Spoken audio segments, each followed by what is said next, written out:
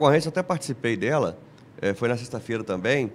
Então, o que aconteceu? É, reiteradas denúncias também, dando conta da traficância de drogas por parte desse menor lá no distrito de Palmeiras do Manhuaçu, né?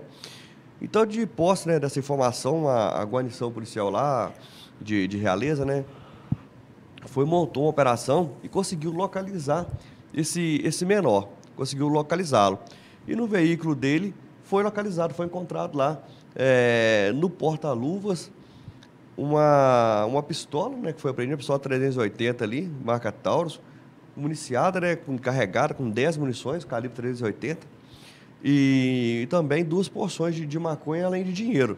Então, assim, é, confirmou né, o, o teor da denúncia e foi uma importante resposta, porque a gente sabe que uma arma de fogo dessa aí tem um potencial lesivo muito grande, né? O instrumento pode ser usado aí para práticas de crime, é, roubo, sobretudo aí o crime de homicídio, né? Que a gente está uma constante aqui do comando da unidade é o enfrentamento ao crime de homicídio e retirar de circulação armas como essa aí usadas pelo tráfico de drogas é de suma importância.